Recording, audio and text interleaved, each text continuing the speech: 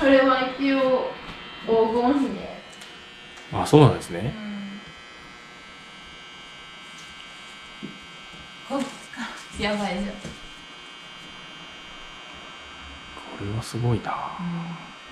すごいあと赤でねえ赤ですね。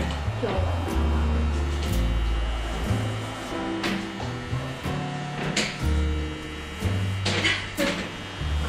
真ん中にあるテーブルのような。あのどうしたもんだってめっちゃ思ってるんですけどこれがどうなるのかなとなんか頭では想像してたんですけどあの長方形になるから長方形に開くっていう。ああなるほど。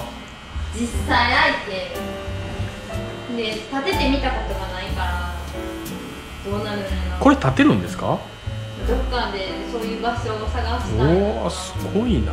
立てるというかえー、としては立てて例えばこんな正方形なんであうん。